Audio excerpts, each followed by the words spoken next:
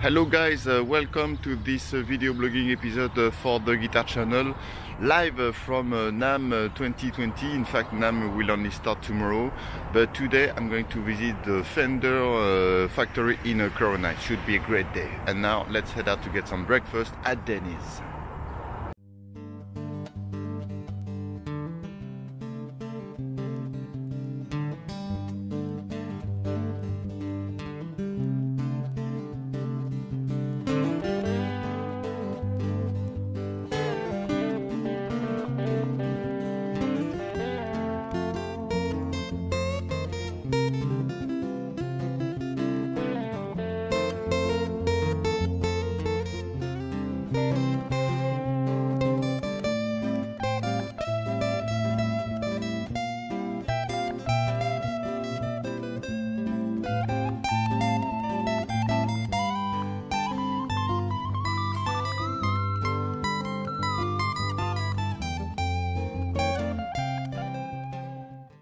No, no. France. From, oh, France. Wow. Spain. Spain. Okay. Wow. We got an international crowd here today. We got a Aussies back there behind you too. So this, this is great. So um, yeah. Uh, uh, how many players we got? A lot of players? Players. Okay.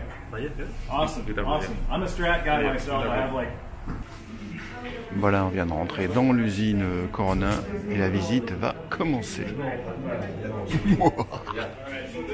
basically we take pictures here, for the exception of this uh, the Telecaster or Broadcaster prototype. These are all period correct. These are all from from the years. I'm not exactly sure which years they're from, but any Fender uh, uh, aficionado. Are you guys in company? Oh, sorry, no worries. Thank you. Uh, yeah, you you guys might even know a little bit be- better than me the indicators of what year they might be, and then everything along this cover there that's a little different.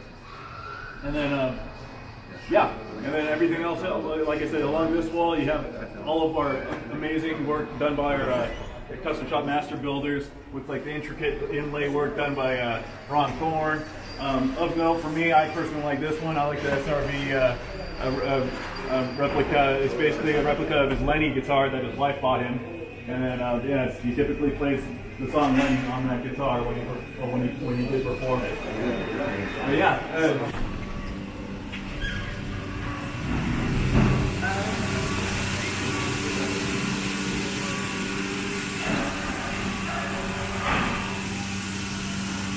we have a more modern machine, a CNC machine that um, could make uh, a process from a older machine, but you know, we, we like. So, and a lot of these processes are still done by hand.